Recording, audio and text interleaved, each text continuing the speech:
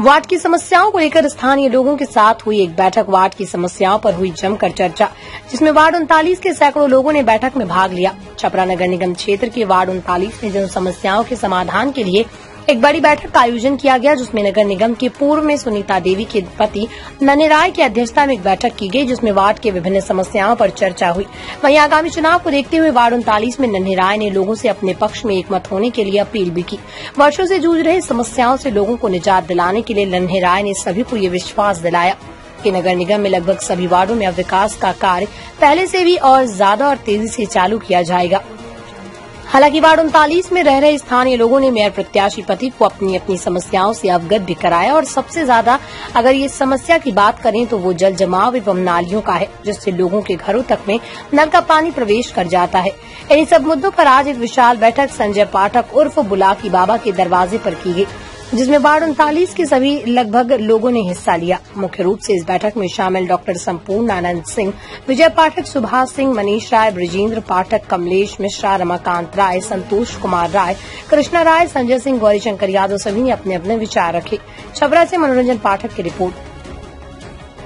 यह एक विशेष बैठक की गई है, जिसपे वार्ड की समस्याओं को रखा गया है और उस पे आगामी चुनाव की भी बात हुई है। मेयर प्रत्याशी के पति आए हुए हैं। क्या लगता है क्या यहाँ तो वार्ड नंबर उनचालीस में खास करके हम लोग मन बना चुके हैं कि यहाँ से सुनीता देवी को भारी मतों से भेज देंगे। और सुनीता देवी ही इस बार मेयर बनेंगी और जो भी विकास कार्य अभी तक रुका हुआ है वो सारा विकास इनके बनने के बाद हमारे वार्ड का हो जाएगा। नन्हे बाबू के द्वारा आज बैठक बुलाया गया है।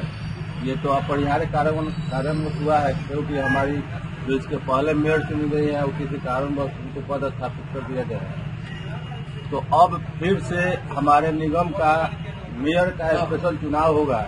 उसमें हम लोग हमारे गाँव वासी सभी लोग साथ मिलकर और हम नन्हे बाबू को पूर्व कार्यक्रम को देखते हुए पूर्व कार्य को देखते हुए इनके ऊपर विश्वास जता करके इनको पूर्ण सपोर्ट किया जाता है आपको इस बार हम लोग अभी जो आए हैं जो प्रस्ताव रखे हैं उन, उन बोले हैं कि सब हम ठीक कर देंगे फिर से आएँगे आ रहे हैं तो बीच में जो डिस्टर्ब चल रहा था इस चलते हम लोग का नाला जाम होने के चलते सड़क भी डैमेज हो गया है सब जहाँ जहाँ पानी का लग गया है और जनता पानी झेल के जा रही है उसको हम लोग रखे हैं इनके पास ये बोले हैं कि सारे समस्याओं का हाँ, समाधान करने का आश्वासन। मिला। अब इस चलते हम लोग राय किया है कि सारा वार्ड का वोट उन्हीं को इकट्ठा देंगे।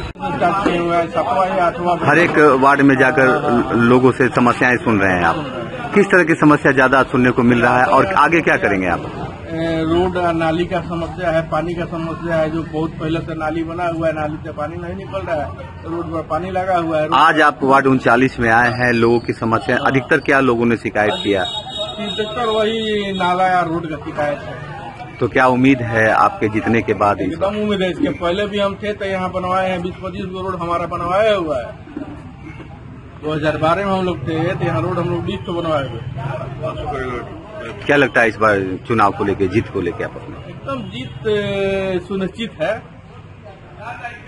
दमदार निर्माण का भरोसा लाल स्टील टीएमटी बार्स। हर निर्माण के लिए उपयोग लाल स्टील टीएमटी बार्स। रिश्ता मजबूती का।